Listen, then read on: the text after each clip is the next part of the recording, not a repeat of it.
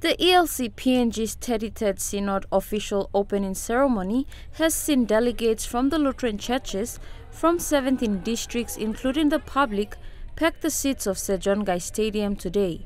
The stadium was crowded with Lutheran Church faithfuls tasked to adhere to the new pillar passing protocols to minimize the spread of COVID 19.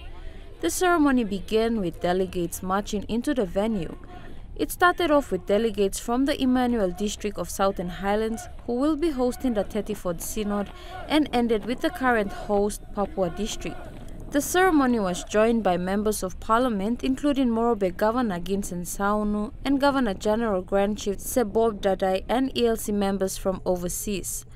The program included dancing, singing from the youths of the Papua district, welcoming their guest delegates.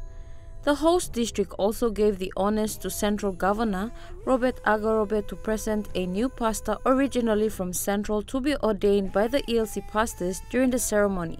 The program then proceeded on with Head Bishop of ELC PNG, Right Reverend Dr. Jack Urame's sermon, before officially declaring the week-long program open.